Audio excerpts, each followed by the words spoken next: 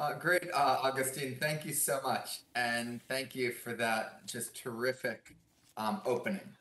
Um, you have just really a spectacular lineup um, for this conference. All the people that I would want to hear from and learn from. And so I'm not, fortunately, going to give all the answers um, to this question. Um, hopefully, a lot of those answers will emerge over the course of the rich discussions today. Um, but what I'm going to do is maybe frame some of the issues, provide some perspective from my work on pro competition digital regulation, which was not specifically um, in the finance space, and then talk about some of the issues in finance. Running through my remarks today, there's going to be four themes. First of all, not everything is good in traditional finance. There are a lot of problems that need to be solved by innovation.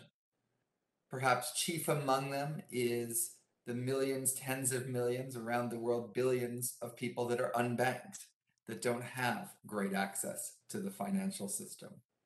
For people who do have access to the financial system, fees are often too high. Um, there is um, payments can be slow, payments can be especially difficult across borders, um, and they can be costly as well. So there is room for innovation in this sector. There is room uh, to solve some of those problems, whether it comes from within the sector, whether it comes from outside the sector, or whether challenges from outside the sector help drive those innovations from within the sector. So that's the first point. We shouldn't lose sight of the fact that um, it's not that everything's perfect now and we're worried about disruption. There's a lot of things um, that would be good to see innovation in. Um, the second is I'm going to talk a lot about concerns about big tech and competition. In fact, I'm going to talk a lot more about that than the following point that I don't want us to lose sight of, which is that not everything about big tech is bad. Um, big tech has produced products that are attractive to a lot of people. It's uh, done that both with scope, um, but also by integrating a range of features that um, consumers like and like to use. And so you know, maybe they have something to contribute to the different problems that I outlined in terms of the unbanked fees, the payment system, and the like. The third point that's going to run throughout everything I say is that there are good features and there are bad features. And right now they come um, bundled together. The good features are the ones I just described, um, but the bad features are um, uh, all of the ones that um, lead, you know, all the ways in which monopolization can lead um, to abuses, make it harder for other companies to enter, give consumers less choice, lead to less innovation. And so we have to look at this sector and be simultaneously have two halves of our brain working the part that recognizes the good that might help solve some of the long-standing problems in finance and um, the bad that we've been concerned with in other areas. Finally, uh, my last big overarching point is that you know, our goal of whatever we do in policy is to get more of the good and less of the bad. Um, there's not an obvious simple answer to that. It's not as simple as there's enough good that you can just ignore policy altogether nor is it as simple as there's just bad, and so you want to keep big tech out of finance. Um, you need to figure out more subtly and complicated. What makes this especially complicated is it's much better to get this right up front rather than um, try to solve it 10 years later. Um, what we've seen in the digital space is the longer you wait, um, the harder it can be to establish new entrants to enable um, competition. There's a certain amount of the toothpaste that just can't be put back in the tube if, for example, you let a company merge over and over again to a monopoly position. So, somewhat awkwardly, I at least don't have the answers. I hope a lot of answers emerge from this conference because I don't think we have 10 years to study this topic and get it right. 10 years from now, the problems will be a lot harder to solve.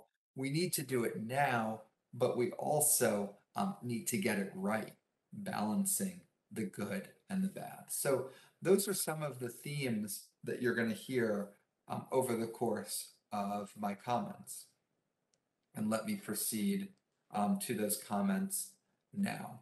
Um, I want to step back and talk about the economics of increased concentration I think it's important to have that in all of our heads. Then get to the issues around digital competition. Um, I then want to share with you what uh, I recommended, my panel recommended to the United Kingdom, and they're implementing. So I think it does provide a model for at least part of how to address the issues that we're all concerned with today. Um, and then finally, want to talk specifically um, about the topic of this conference handling big tech in finance. So let me start out with a very old product. This product is much older than the internet. This product is much older than banks um, as we know them. Um, this product has been made for thousands of years and it's beer. These are two beers uh, that a lot of Americans drink. We'll especially see college students on campuses like mine drinking Budweiser and Heineken. These are a lot of other beers. Joe IPA, Elysian, Aphogen, Mort Sudite, Sibel. I confess I don't know most of them. I don't drink most of them. Um, it looks like there's quite a variety of beer out there. But if you look carefully, all of the beers I'm showing you are made by two companies, um, Anheuser-Busch InBev and Heineken. In fact, you see the large majority of beer in, consumed in America, and the same is true in many other countries around the world, is made by these two companies. Um, it's made by them in part because they've developed other brands, but in part because they've also acquired other brands. We see this not just in beer, but throughout the economy. We see it in um, consumer products, um, cell phone access, internet service providers. We see it in mundane consumer products like ketchup and mayonnaise and mustard. We see it in what producers use, like um, fertilizer and farm equipment throughout the economy, we see more and more sectors with often just two you know, very large players that dominate the sector, either because they've grown or because they've acquired other companies. Now, you don't want to look at something and say just because it's big, it's bad. That was a view in antitrust a century ago associated with US Supreme Court Justice Louis Brandeis it's a view that's being revived by a group of people uh, that sometimes call themselves or are called neo-Brandeisians. And they have axiomatic that if something is big, it must also be bad. That's not the wisdom of 50 years or more of thinking on this topic in economics. Um, instead, the wisdom of 50 more 50 or more years of thinking about this topic in economics is that when you interpret greater concentration, it could mean one of two things. It could mean that there's actually more competition, or it could mean there's less competition. More competition, think there used to be one small store in every town there wasn't actually real competition, even if there were thousands of stores throughout the economy, because in each town there was only one store. Now, two big chains open up in every town. They destroy all the small stores. We're sad to see them go. They offered some amenities and benefits. But now there's actually more genuine competition because even though there's only two stores in the whole country, um, everyone in every town now has a choice of those two stores. Increasing concentration could also mean um, less competition. if it ex- the path to the increased concentration extinguished competitors, enabled greater pricing power or greater ability to just be lazy, rest on one's laurels, and not innovate. So you can't just look at concentration and say whether that's good or bad. You have to ask why that concentration emerged and what the consequences of that concentration is, because concentration itself is endogenous. So broadly speaking, there's some good or natural causes of increased concentration associated with more competition. It could be a superstar firm that's really good at doing something. It makes a product that consumers like and that benefits consumers. It you know creates um, it, it benefits from you know global returns to scale. But there's also bad and unnatural causes that lead to um, less competition, um, like reductions in. Sorry. Sorry here. Um, I have a child who yells at me through my Alexa, big tech, um, intruding on our discussion right here. Um, that um, you know bad or unnatural causes of less competition, reductions in merger and antitrust enforcement, um, or increased regulatory barriers to entry. Um, and the sum that cuts both ways. I'll talk about increasing returns to scale and network externalities. Now, there's a lot of evidence that there's some bad reasons for increased concentration. I'm showing you evidence here from the United States. Um, and this is the number of monopolization cases that are filed under Section 2 of the Sherman Act. So these are cases where a company has market power and it abuses that market power by keeping others out, leveraging the market power into different areas. There's been a diminishment of enforcement. Um, there's also not showing you data on it, but a diminishment in enforcement of merger rules um, and just less funding for the enforcement agencies and courts that have generally been less friendly to both monopolization and merger cases. Um, the second is in many areas, there's been a growth of intellectual property rules, patents and trademarks, um, regulations, um, and other barriers to entry, many of which protect incumbents at the expense of new entrants. Now, as I said, there's good concentration and bad concentration. Let's just talk briefly about two sectors to give what I think are a good example. Again, data from the United States. Um, the retail sector has grown much more concentrated. The healthcare sector has grown much more concentrated. But you see a real difference between the two. When you look at markups, markups have actually fallen in retail. Think companies like Walmart that have been very aggressive in innovating. Their efficiency has gone up a lot, their output per hour. And they've passed on a lot of that innovation to consumers in the form of lower markups. Then healthcare. Um, in the United States, we've had a lot of hospital mergers. Most cities now have one or two hospitals where they used to have three or four. And that has only increased efficiency a little bit, but it's increased prices quite a lot. Um, in my view, that's happened because the authorities have allowed a set of mergers that they probably shouldn't have allowed in especially the hospital sector um, and possibly health insurers in healthcare. So I want you to have this prism in your head that concentration has risen. The concentration rising can be the consequence of something good, like an innovative company like Walmart.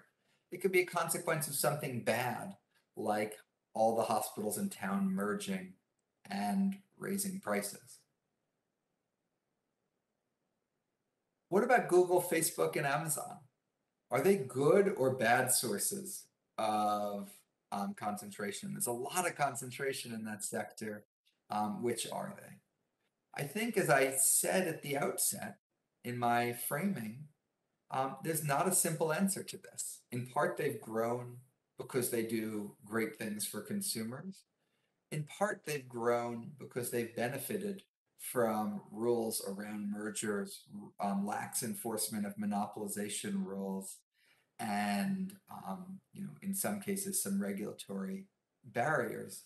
And so they are, to me, a combination. In part, they're like Walmart, which was an innovator and grew organically.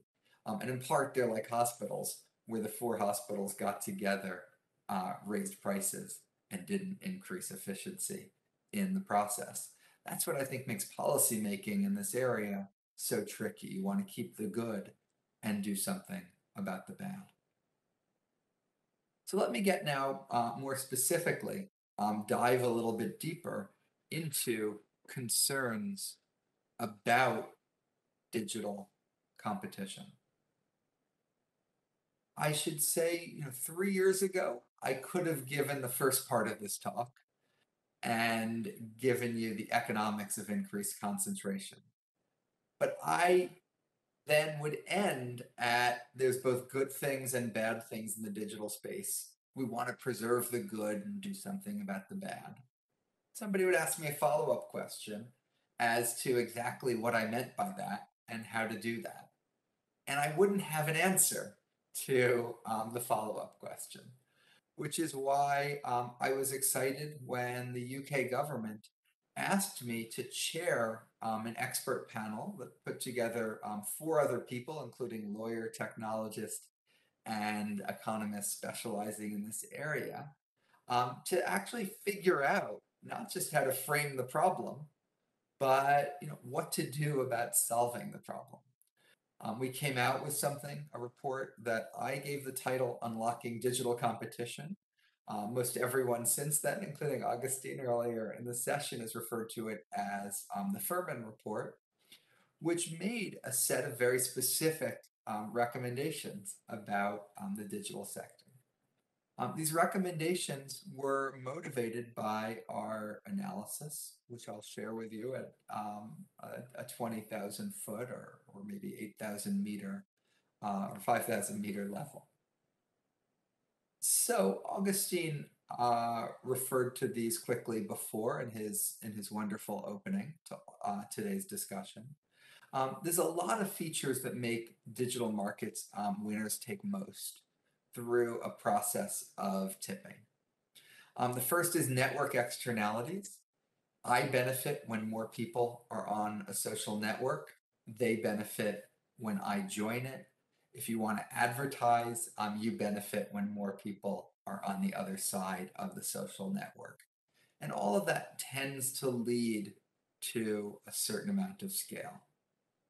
Um, the second is there's economies both of scale um, and also of scope. There's zero, near zero marginal cost, um, which makes it possible to scale up to billions of people. In some cases, um, it's happened relatively quickly. In some cases, there's a lot of barriers to it happening that we'll talk about.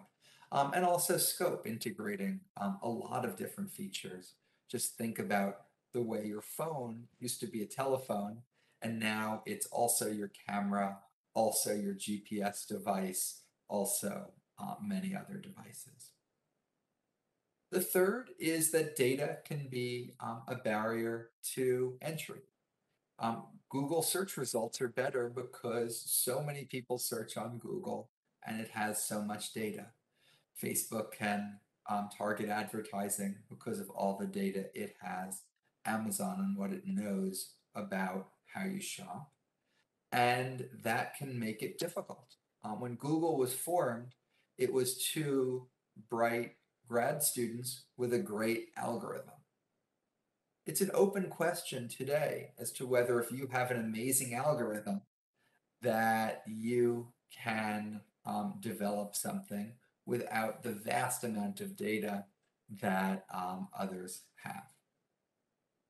This is especially true um, data as a barrier to entry in um, artificial intelligence and machine learning.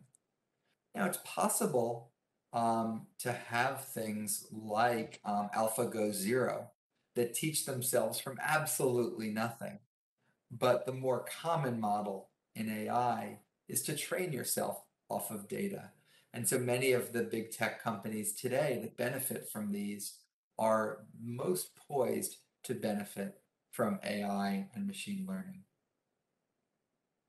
This is not a very um, equipment heavy business, so capital and brands matter um, for raising. And there's behavioral um, features about consumers that do, um, do not seem to switch.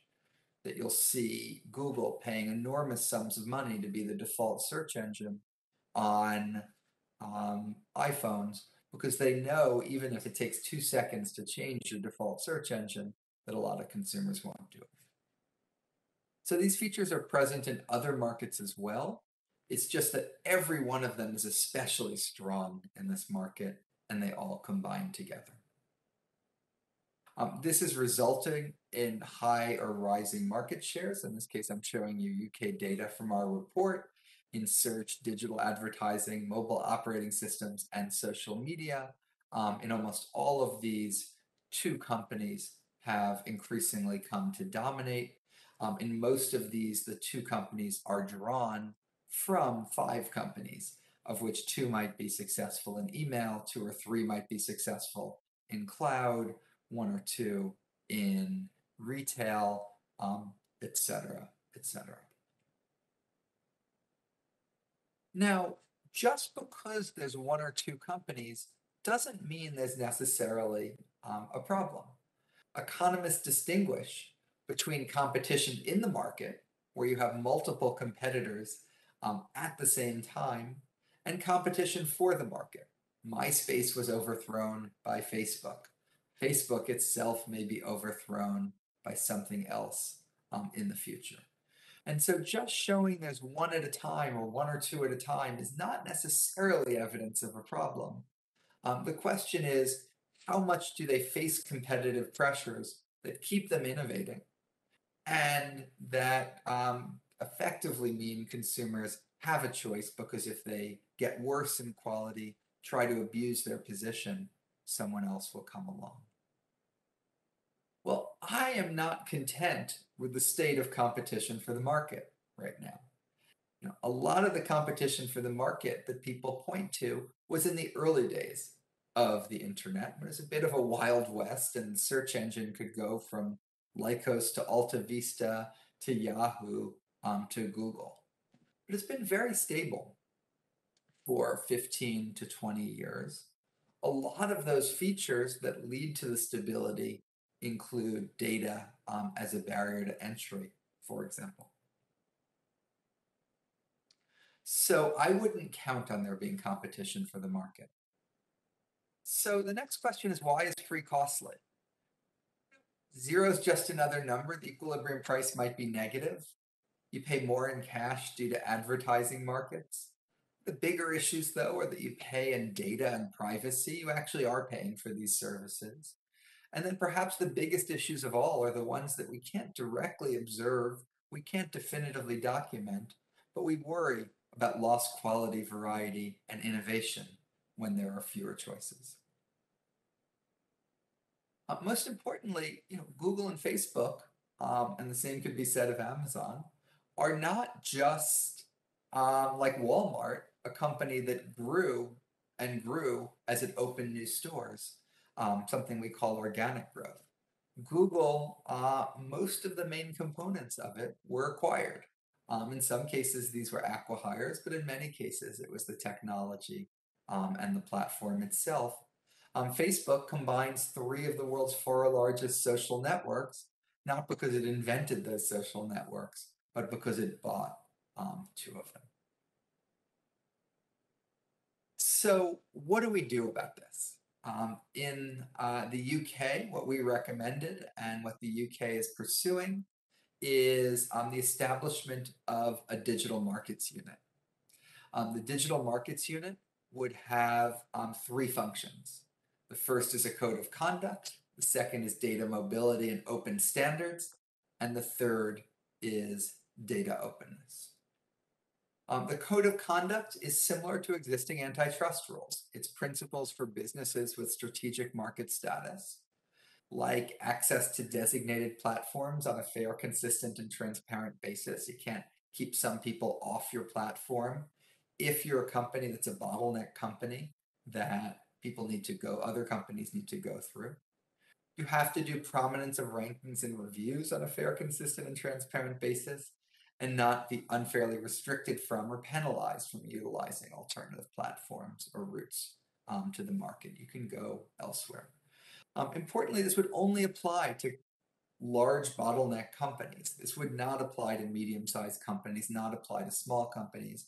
So there'd still be a lot of flexibility for innovation and change. It just would be if you're close enough to monopolization, uh, this would kick in.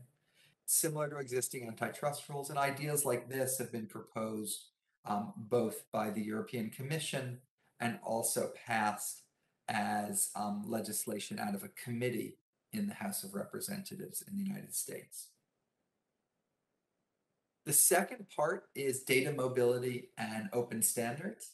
Um, here we took a lesson from open banking in the United Kingdom, where they required, I think it was the seven or so um, largest banks, to open up their APIs, let other companies build on top of it.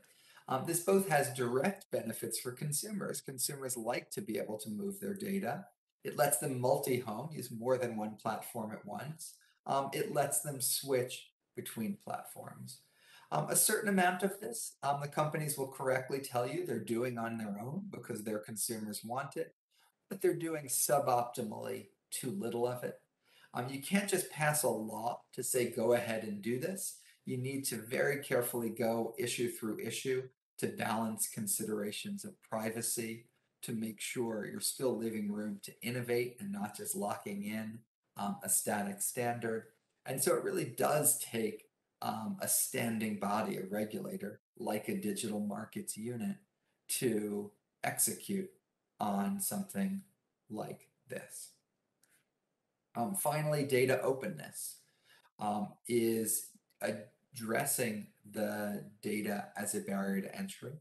Um, there's a lot of ways to do this, um, whether it's making lag data available, making um, real-time data available, including data in um, data trusts, anonymized formats um, through the government and the like.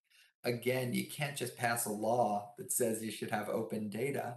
There's a lot of data that shouldn't be open um, for privacy reasons or because you want an incentive to collect it, um, you need to judiciously go through um, each use case.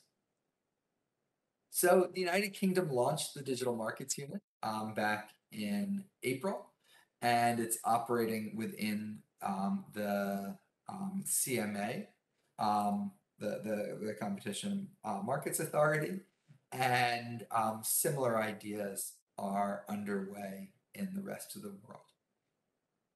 Let me now turn um, for my conclusion back to where I started with my framing about how to handle um, big tech in finance. Um, the internet, you know, I should say, was supposed to era, usher in an era of competition. You know, people thought anyone could start a company in their dorm, low fixed costs, zero marginal costs, can take advantage of the long tail.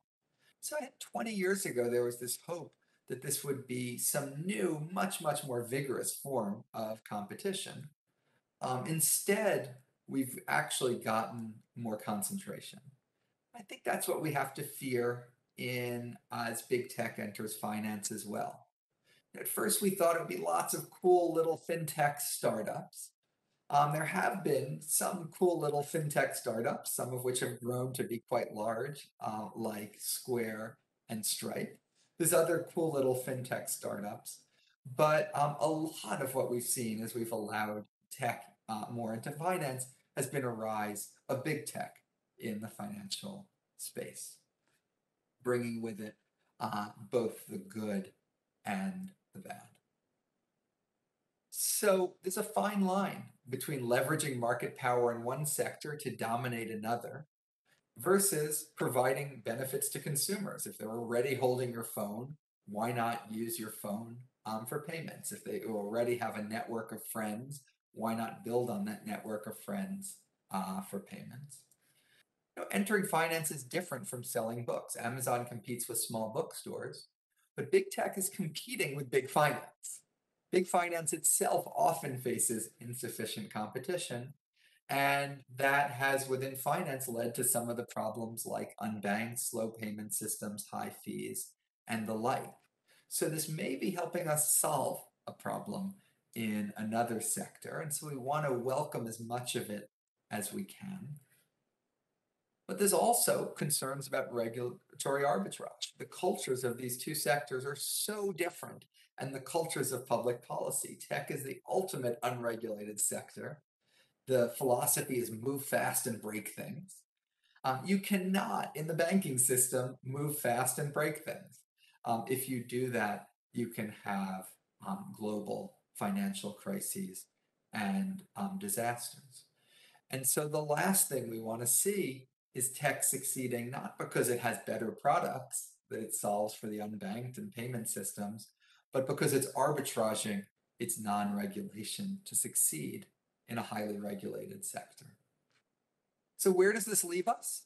Um, I think there's three goals um, for public policy. Um, the first is to keep as much good competition that benefits consumers as possible. They're succeeding based on superior products and increased competition. That's a wonderful thing, and we should welcome it.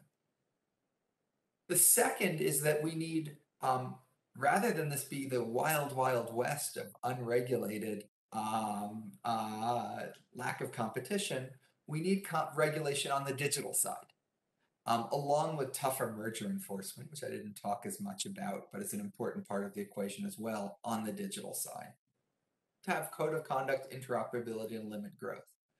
And the digital regulation would be focused on competition across the board, including competition um, in the payment space. Then we also, from the other side, um, need to maintain regulation from the finance side um, so that big tech doesn't engage in regulatory arbitrage. Um, this is not a detailed template of exactly what to do uh, about big tech in digital space. I don't know exactly what to do, um, but I'll end where I began on that it's hard to get this right, but it's going to be even harder to clean up the errors later if policymakers um, get this wrong. So I hope by the end of today, um, the answers to these difficult and important questions have emerged. Um, thank you very much. Well, thank you, Jason. Um, uh, you've laid out the, the issues really well. Um, I hope uh, we can get in a couple of questions, actually. I think that was a very rich uh, presentation. Um, so for those, of, uh, for those of you who have uh, joined the call on WebEx, uh, please um, uh, raise your virtual hand. Uh, perhaps we can, um, Jason, just collect a couple of questions. Um, uh, Benoit, Benoit uh, go ahead with your question.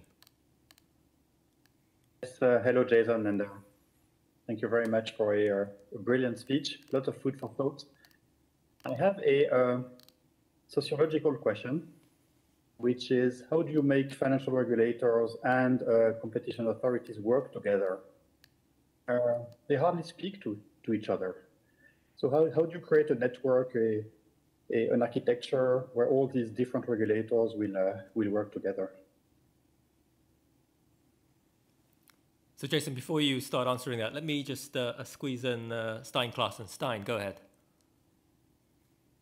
Yeah, thanks, Jason, and thanks very much for a very nice uh, speech. Um, I had a question on data privacy. You didn't talk as much about it, but of course, if we have the big techs uh, get access to, let's say, payments data, they suddenly know a lot more about me than uh, they used to do in the past. Uh, and it's really very valuable data.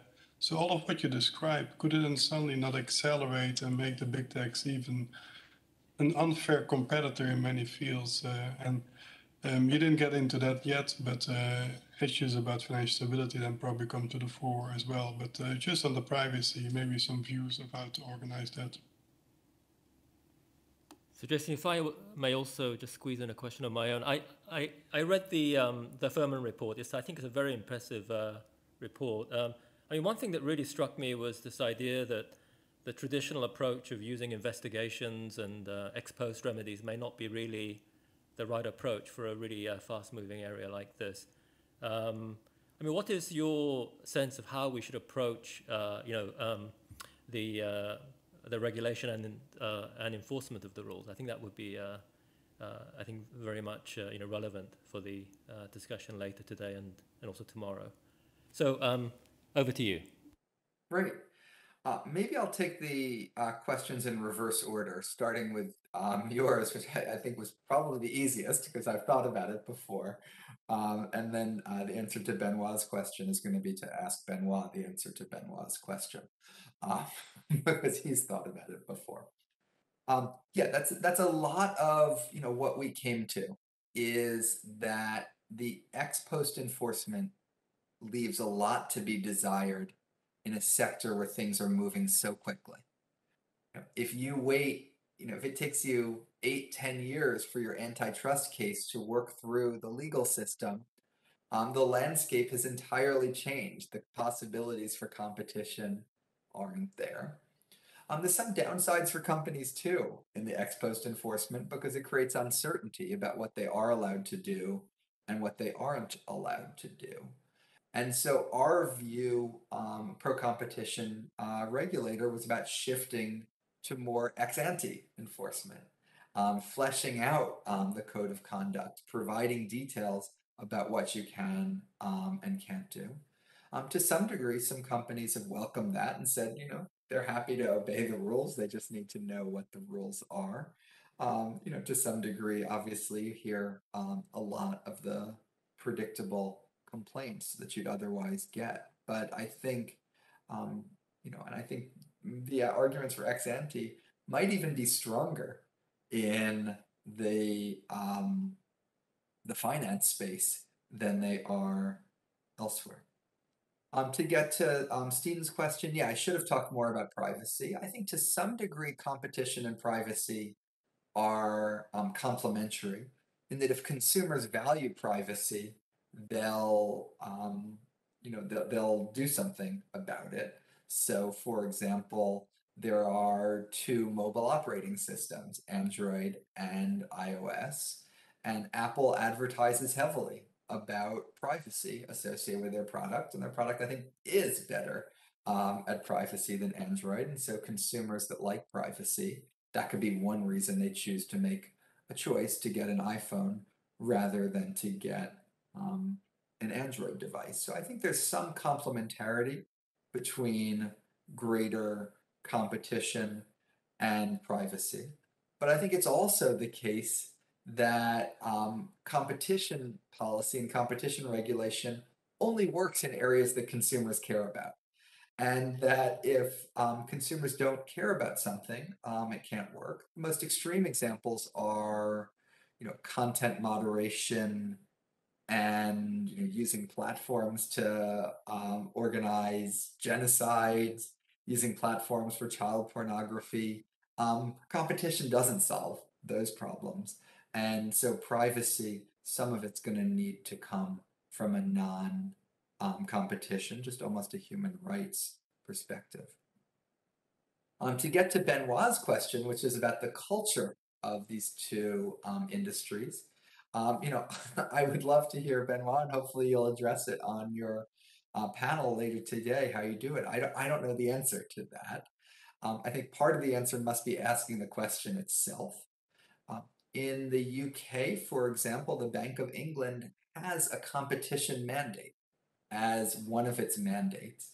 The Federal Reserve does not have um, a competition mandate. Now, I've seen this in the privacy space, where again in the UK, um, the the privacy regulator um, doesn't have competition as part of their mandate, and you'd sort of like that to be part of it. So they ask the question: Oh, if we're making this privacy rule, are we creating a barrier to entry that actually reduces competition? And you'd want them to ask that. Um, and on the other side, you'd want the people doing competition to ask what impact it would have on others. So I think part of this may be um, uh, assigning secondary mandates.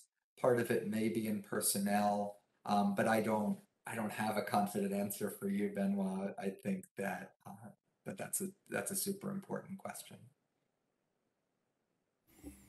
Well, thank you, Jason, again for um, uh, starting us off uh, on on this very positive note. Um, let's um, let's uh, close the session uh, there. Uh, we'll take a couple of minutes break. Um, we will um, we'll resume at two, uh, so that we can actually uh, uh, get the setup ready for the next session. But Jason, um, thank you again for for giving us much food for thought and and getting us off to a great start. Thanks. Uh, thank you for including me, and I look forward to the discussion.